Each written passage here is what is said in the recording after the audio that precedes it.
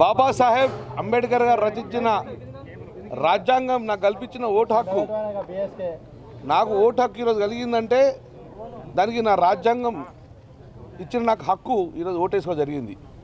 నా ఈ ఓటు ఈరోజు ప్రతిసారి నాకు ఓటు ఏ ఒక్క రోజు కూడా ఏ ఒక్క ఎన్నిక కానీ అది గ్రామ పంచాయతీ ఎన్నిక కానీ మున్సిపాలిటీ కానీ ఎంపీ కానీ ఏ ఒక్క రోజు కూడా నేను ఓటును వేయకుండా లేదు. ఎందుకంటే నాకు రాజ్యాంగం కల్పించిన హక్కు కాబట్టి.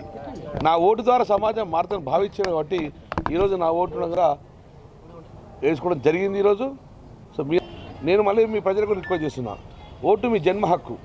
నీ ఓటు ద్వారానే ఈ యొక్క రాష్ట్ర ప్రభుత్వం ఏర్పడుతుంది కాబట్టి ఒక సరైన ప్రభుత్వాన్ని ఏర్పాటు చేసుకుంటే తప్పక మీరు వచ్చి ఓటు వేయాలని చెప్పి రిక్వెస్ట్ చేస్తున్నాను. అందుకే నా ఓటుడంగా వేసుకోవడం జరిగింది ఈరోజు సో మీ అందరంగా ఓటు వేసుకోమని చెప్పి ఓటేయాలని వేయాలని చెప్పి నేను మనస్ఫూర్తిగా కోరుకుంటాను ప్రతి ఒక్కళ్ళు దయచేసి ఓటు ఓటు అనేది మీకు ఒక రాజ్యాంగం హక్కు కాబట్టి దాన్ని ఎట్టి పర్సెంట్ వినియోగించుకోమని చెప్పి నేను మీ అందరికీ మనస్ఫూర్తిగా మీడియా ద్వారా చెప్పడం జరుగుతుంది.